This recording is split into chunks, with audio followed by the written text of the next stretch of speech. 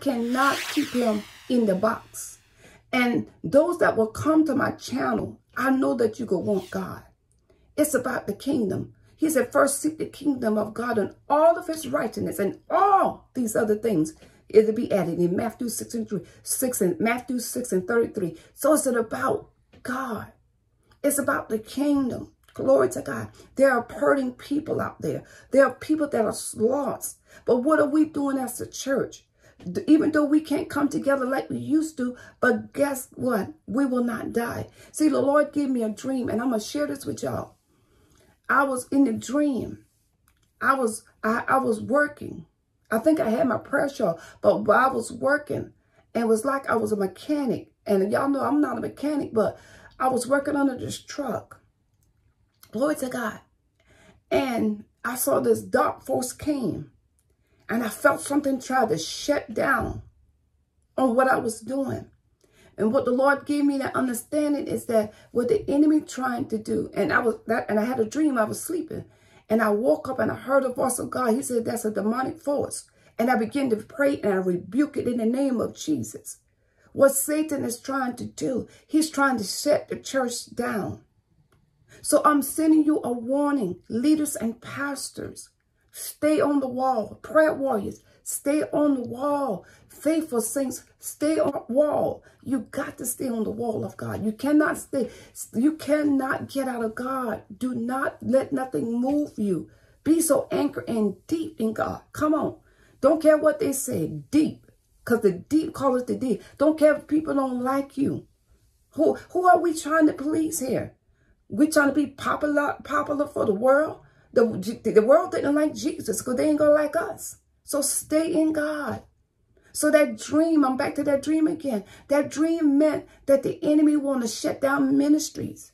So many, so many leaders are losing their churches. But let me tell you something. You can get another church. Don't let that stop you. Come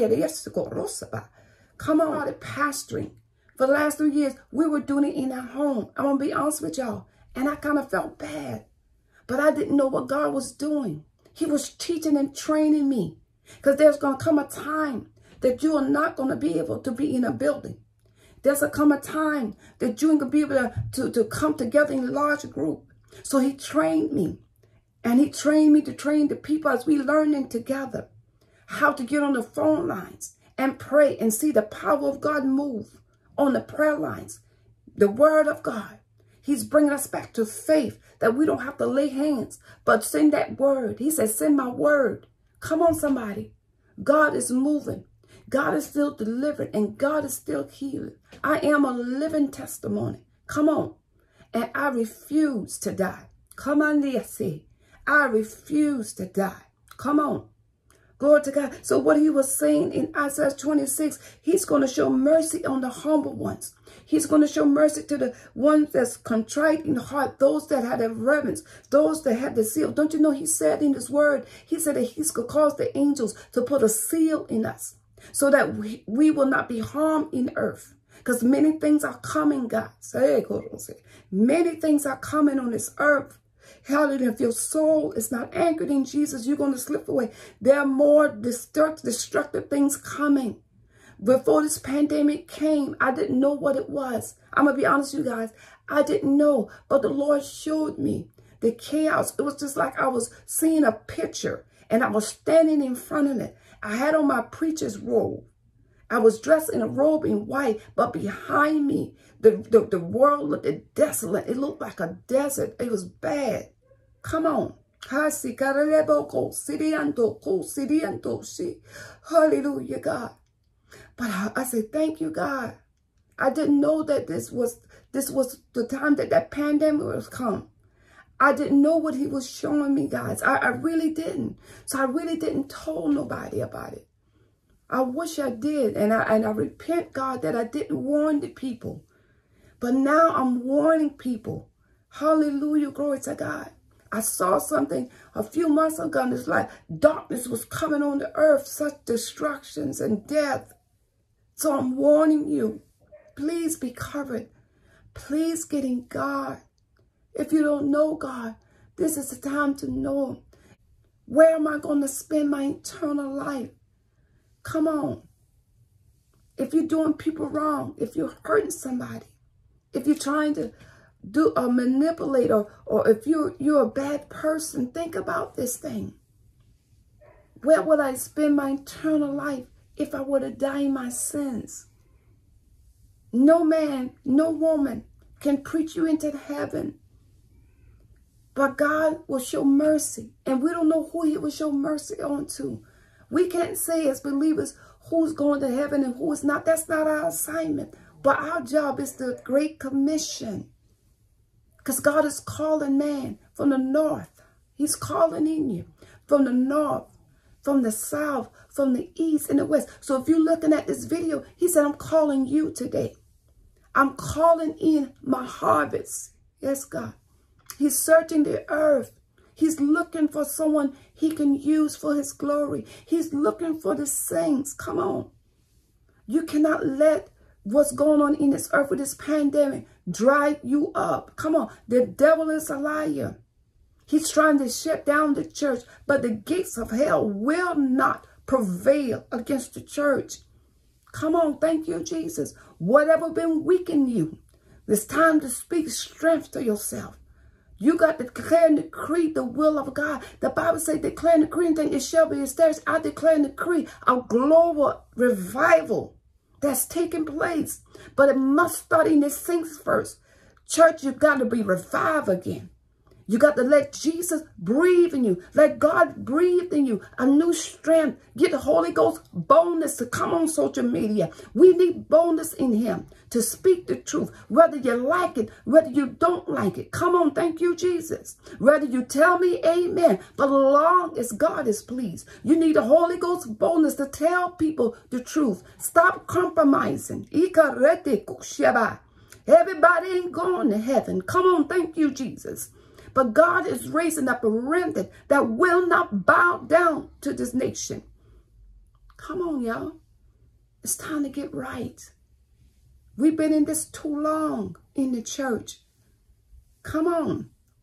My God, it's not about popularity. Thank you, Jesus. It's not about being popular. It's not about being fame. If nobody don't know my name, you may not know me, but just know I am a child of God. And I stay humble there. Come on. I'm not coming over here trying to get accolades and, and, and YouTube subscribers. That's not the purpose of this. If you don't subscribe, subscribe, I still love you in the Lord. But I'm warning you, it's going to get worse before it get better. People are, are, are falling out and fainting because of fear. People are killing themselves. Glory to God. Don't count on the almighty dollar. Don't count on this world system. Don't count on your money and don't count on your job. But you better count on God. Because the word of God promises, he said, the righteous shall never be forsaken, nor will a seed be begging for bread. So guys, I got to move my ministry church channel on another channel. And I'm going to start it. I'm going to do it today. And I'll announce it on my channel exactly when and where I'll be on and times I'm uh, on that channel. I might, well, I think I could do live on the computer. Glory to God. But if you need any prayers, I'm not a I'm not a, a child of God that's unreachable. I'm not like that, guys. I will help anybody. I'm I'm not that type of person. You can call me personally. I'm not that. I'm not that type of pastor that don't reach out to his congregation, uh, that don't reach out to people. Saints, you got to reach out. If people need prayer, what are we here for? Jesus said, my house should be a house of prayer for all mankind. Come on. I, am not unreasonable. I'm nothing, y'all. But he is the greater one. It's all about Jesus. It's not about me this morning. So I don't want y'all to get caught up in penny. Come on, glory to God. Glory to God. Yes, my title is a pastor and a prophetess and evangelist and an intercessor. Come on. But don't you get caught up in me. Don't you look at me. Give God the glory. Because he said, I shall not share my glory. I will not share my glory. And I will not get the glory. Some of y'all on today that will look at this video don't let it say it's too late that I didn't warn you. I didn't tell you that Jesus is real. Come on. Thank you, Jesus. I'm tired of people prophet lying to you. But in God, we have a safe place. In Jesus Christ, no man can come to God except through, through Jesus Christ. You get big time and you get into movies or you get big time on YouTube, don't ever compromise. Don't ever sell out on the anointing. A man of God prophesied at me years ago. He done gone home through the Lord, through the grace of God. Apostle Tosi. And he told me, he said, prophetess, he said, Lucy. He said, don't you sell out on the anointing. Come on. And I pray every day. I said, God, don't let me sell out on you because you are so faithful and true.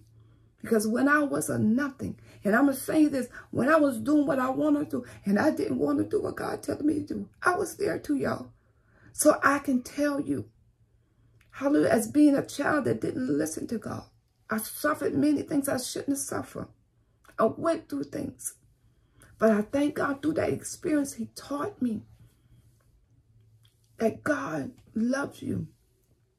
And I'm telling you, if he loved me when I was disobedient, when I was rebellious, when I was stiff-necked, he still loved you. Come on. And that's why I can't sit on it. I can't sit on what God has called me to do. I can't sit on the Great Commission. Oh, God. I can't, yo. Because God said, I'm concerned. Y'all listen. God said, I'm concerned. I'm concerned about your souls. When you go after death, it matters. After death, the Bible said, then there's judgment. God is concerned about us. He said, I'm concerned. The word said, I'm concerned about Israel. I'm concerned about my people. God is so concerned. I was there, y'all. I ain't been always saved all my life. I played church myself. But I'm telling you, God has brought me from a long way. Um, if you're not in God, get in God and stick with God. Get with a true man of God, a woman of God that's teaching the truth, that ain't gonna play with you. Don't play. Don't play with God because he ain't nothing to play with. Thank God for his long-suffering patience with us. But God is judging the nation. That's why you see so much things going on. Things will never get back to normal, God. They may never get back to normal. Our apostle told us, she said, the Lord was showing her this. And I'm not saying this to scare you, but warn you. But she said she saw that she was stepping over so many dead bodies. God forbid if something worse than corona come on this earth, God forbid. He said, I'm warning you. Get in God. Get covered with God. Get protected under the blood. Nothing can come through the blood. Come on. We still use wisdom. We're not being disobedient as Christians and not put on our mask. Because he said, obey the laws of the land. I'm not going out there without my mask. I'm still doing social distance. But I know whose I am. Come on, I know who I belong to. I might didn't say that right for some of y'all. But it's time for the church to waken up.